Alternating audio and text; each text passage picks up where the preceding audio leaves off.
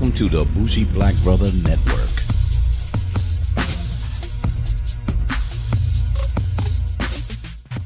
Right. So another one is uh, electric car. You know what? There's going to be a lot more maintenance that you have on that. Yes. No, you don't. So when you compare those with a lot of now, here's the difference with a Tesla and a lot of other uh, EV vehicles. A lot of other EV vehicles are regular cars with a battery. Mm-hmm. So they have a lot of coolant and they got radiators and they have all different other types of stuff. Any of those separate parts on an ICE car, internal combustible engine, ICE vehicle, you have those components still in the car. Whereby Tesla eliminated almost 80% of those type of parts and have the two motors and everything is electronically built from that. So you have the least amount of maintenance that you have to do Yes, you do. on a Tesla On a Tesla. and and most EVs. I Right. say most because it depends on how the vehicles have been um, um, configured Right. in And, that way. and like Michael said, a lot of the other EVs are made like regular ICE vehicles, like he Mhm. said. And so when you th- think about a Tesla, the ones that you know Tesla we have, everything is software download. It's a software download for any updates that needs to be done to the car. So if there is, for example, I think Consumer Reports said that um, they gave gave it a bad rating because because of the brakes. Yeah. And Tesla said, hold up a second, we can fix that. And they did over the air, um, over the air download Mhm. and automatically fixed the brake problem. So let's go to that because I think a lot of people don't even know about that because they don't even know to ask. So if something goes wrong with the car or there's something that needs to be updated or there's a recall that has to be done, what Tesla does, they figure that and see it and say, you know what, we'll do it over the air, OTR. That means if you connect to the Wi-Fi, what's going to happen is they'll charge it. I mean, they'll download it just like if you had a phone, it would be charged over the air, and then it's like, oh, it's there. And not only that, they give you the notification. Right, they give you a notification. So with the app With the that's app. with there, they said, hey, you got a new update. And a lot of the updates is just small fixes and everything. Mm-hmm. Whereby with our with our Lexus, we had to go in. They had to keep it for uh, a couple hours or a day or two and do what they need to do.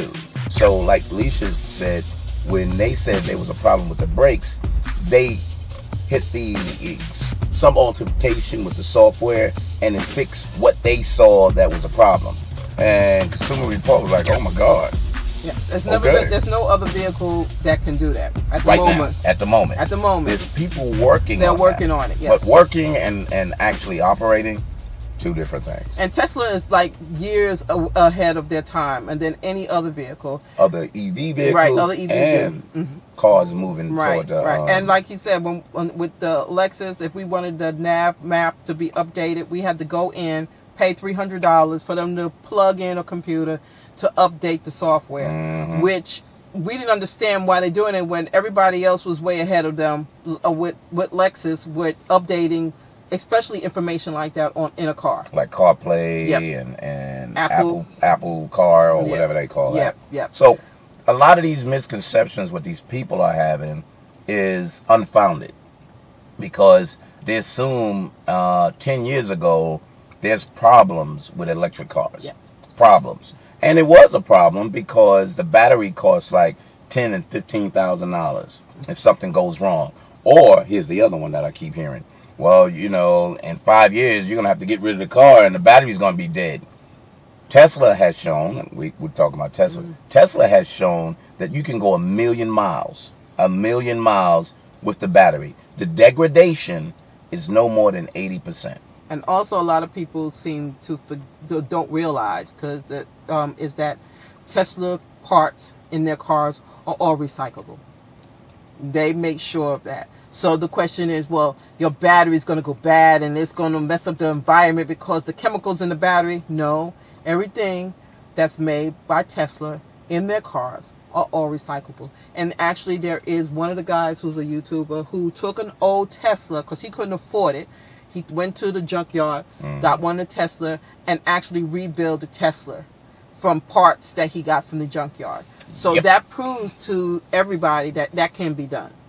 So this makes it that having an EV with the misconceptions, you take that all out, and then you start looking at what does it do for me. Right. And we're gonna we're not gonna get into that. Oh no no! What's the last thing that you know that they all when they, when they come to us is like, man, man, you're rich. I'm rich, bitch! I heard this even in my damn Tesla group, Tesla Diva group. We they always say, yeah, but they think we're rich if we buy a Tesla.